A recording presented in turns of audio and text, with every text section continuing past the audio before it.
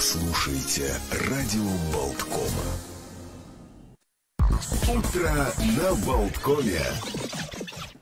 Да, доброе утро, уважаемые радиослушатели. Мы продолжаем работу в прямом эфире. Как обычно, по понедельникам в это время на прямой связи э, с нами Никита Троянский, эпидемиолог из отдела вакцинации Национальной службы здоровья. Доброе утро. Доброе утро. Да, ну вот э, кто-то радуется, кто-то огорчается, кто-то э, скептически относится. Но у нас сейчас вот дискуссии в обществе и, кстати, в политических кругах, даже медицинских, мы видим и эти передачи, и дискуссии как бы повернулись. С одной стороны, может быть, это хорошо, из э, того, как мы должны беречься, в сторону того, как мы должны теперь свободно э, жить. Как вы это воспринимаете? Ведь рано или поздно, с другой стороны, это должно было наступить. Может быть, это хорошо, что мы дошли э, уже до такой степени, что мы можем говорить о том, как вот снимать те иные послабления. Что вы на это скажете и насколько еще можно мы говорить о том, что у нас еще присутствует дельта? Ведь это очень важно с учетом специфики вот этого штамма. Э, да, я думаю, это отличные новости. Тот факт, что мы уже на самом деле можем планировать будущее без э, значительных ограничений, конечно, до следующей волны. Я думаю, следующая волна произойдет осенью, и наверняка тогда опять придется какие-то меры предосторожности э, вводить обратно. Но э, по поводу дельты, мы видим на примере Дании, где более 99% это омикрон, при том другой омикрон, не тот, что у нас BA.1, а BA.2, уже новый подвид омикрона, но в больницах все равно треть госпитализованных – это люди с дельтой. То есть дел, дельта приводит к серьезным последствиям. Угу. По Латвии у нас таких данных нет пока что. Но я думаю, что сейчас главное все-таки повод э, еще чуть-чуть потерпеть это – а, огромное давление на больницы и на семейных врачей, которые просто не справляются с потоком э, зараженных. И в больницах э, многих есть давление на терапевтические э, койки. И, то есть люди, которые не с ковидом как основным диагнозом, а, например, с инфарктом, все больше и больше попадают в больницы на фоне ковидного заболевания. Ну и еще, конечно, тот факт, что в больницах э, сейчас не хватает работников. Многие болеют, многие контактники или сами заражены. Угу. Невозможно не обратить внимание, да. Никита, на ваши слова по поводу новой волны. Вы с каждым нашим эфиром все более уверенно об этом говорите. А что дает вам такую уверенность?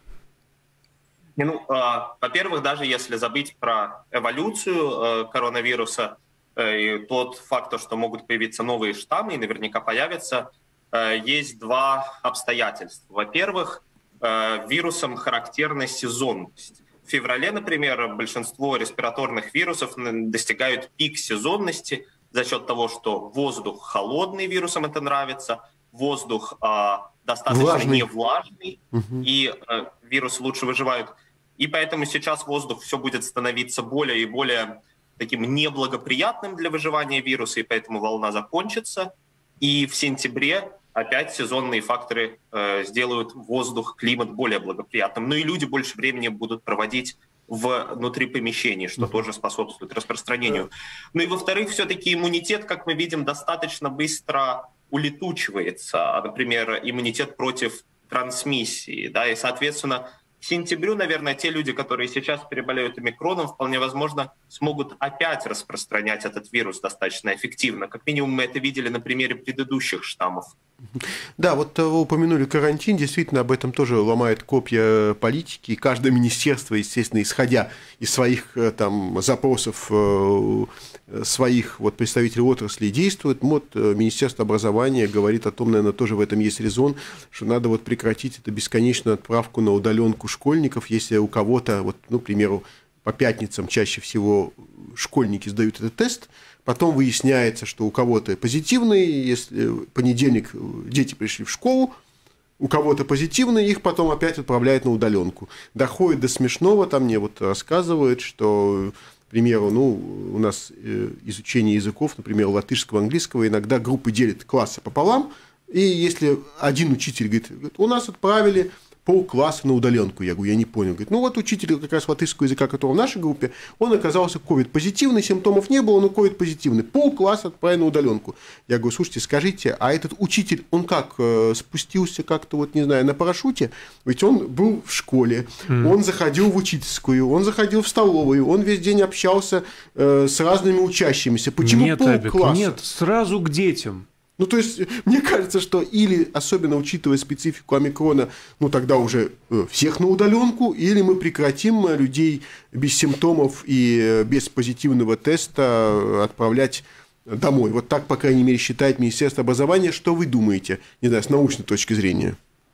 Но я думаю, что вот в данный момент, когда мы, собственно, приближаемся к пику заражений, наверняка на этой неделе этот пик будет достигнут, а нет поводов вот прямо сейчас что-то ослаблять, но в принципе в будущем я думаю, что да, а э, в школах мог, может быть более Э, как-то релаксированные требования к карантинам. Например, один из вариантов, который стоит рассматривать, это только в случае, если три и более зараженных детей, например, в классе, то тогда класс отправляют на карантин, чтобы не было ситуации, где одновременно по всей стране 10%, 20% классов э, угу. на удаленке. Да? То есть я думаю, можно тут искать какой-то компромисс, но с научной точки зрения это, конечно, не совсем обосновано, потому что мы знаем, что коронавирус распространяется по воздуху, и поэтому если ребенок сидел хоть на задней парте, то за 40 минут в плохо вентилированном э, пространстве, конечно, и до первой парты дойдет этот конечно. вирус.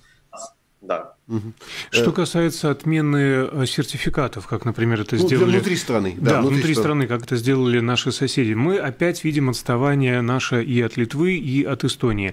А бизнес опять страдает. А, наши соотечественники предпочитают ездить на короткий какой-то отдых, там вот маршрут выходного дня, что называется, либо в Литву, либо в Эстонию, соответственно, там Вильнюс, Каунус, э, какой-нибудь Таллин красивый и так далее.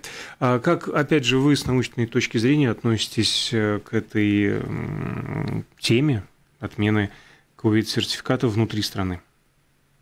Ну, с одной стороны, э, Литва, у которой даже больше э, смертей на душу населения в данный момент от коронавируса, выбирает вообще самый такой фривольный путь, где все отменяет. С другой стороны, Эстония, мне кажется, более научно это делает, и они, например, в ближайшее время отменят сертификаты лишь для подростков, то есть 16, 17, 18 17 лет. числа, да.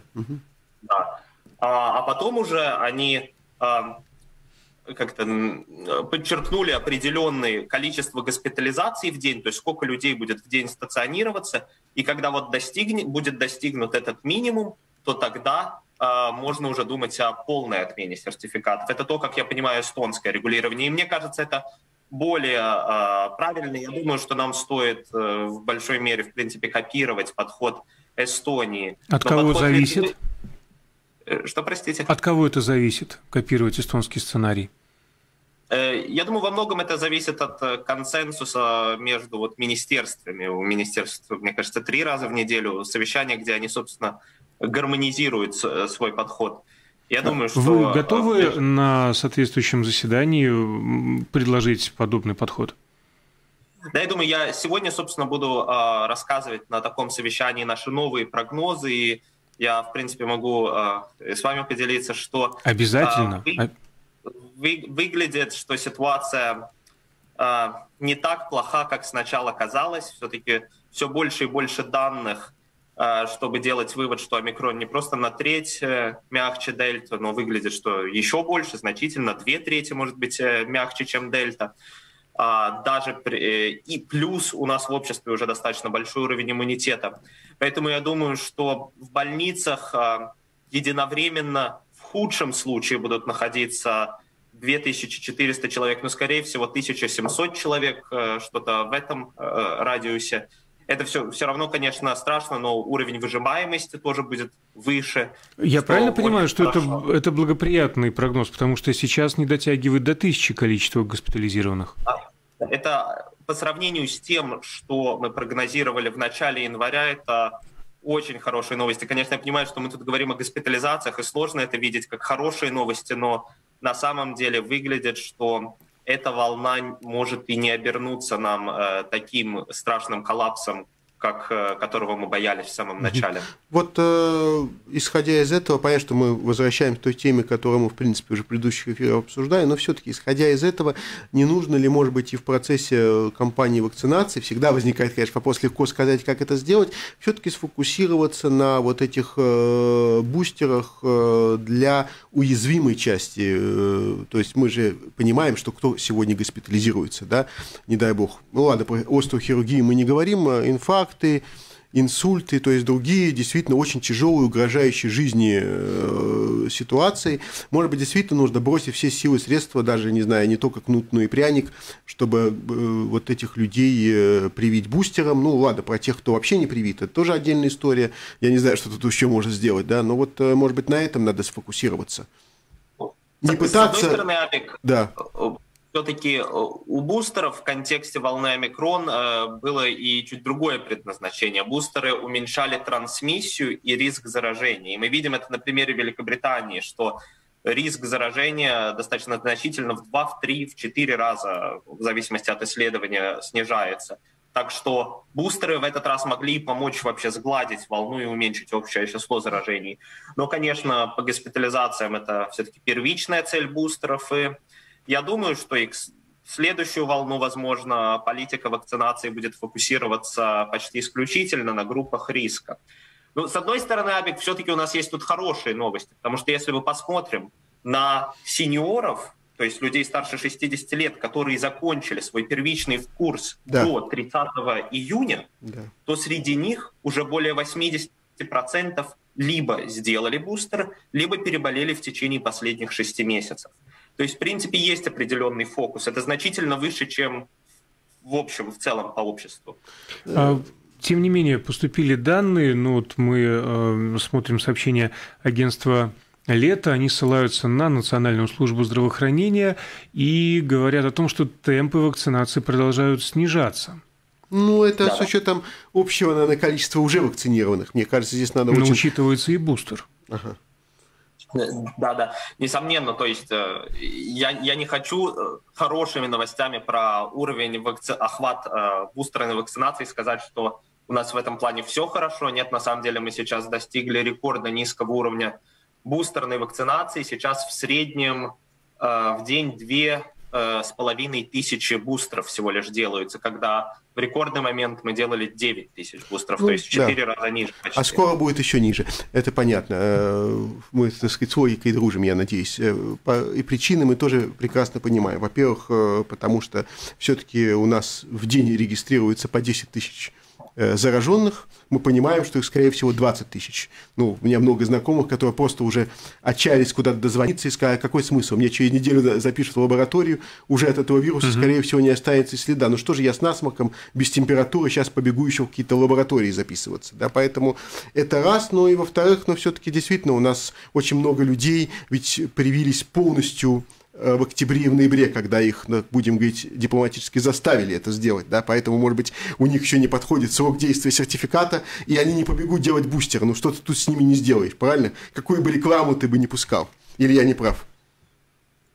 Ну, я думаю, в большой степени вы правы, потому что э, сертификат, как вот механизм мотивации делать бустеры – в данный момент может не так эффективен, потому что на, на момент 15 февраля лишь около 50 тысяч человек из тех, которые еще не получили бустер, увидят, что у них закончится сертификат. Но к 1 апреля это количество уже 250 тысяч. То есть мы ожидаем, что может в марте у нас э, удержится хотя бы нынешний э, темп бустерной вакцинации, но может даже увеличиться. Ясно. Ну что ж, э, спасибо большое, будем следить спасибо, за ситуацией. Да. Да. И за хорошие прогнозы тоже большое спасибо. Приятного дня. На связи.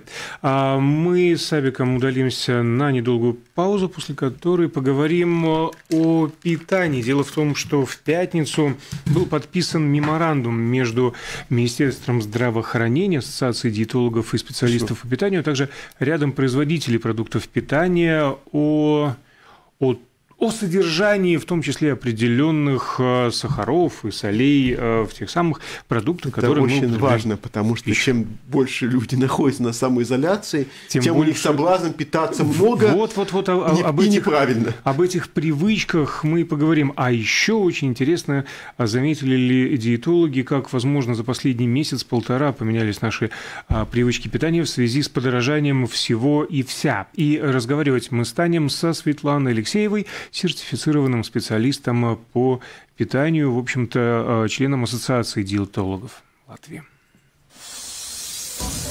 Радио Болткома.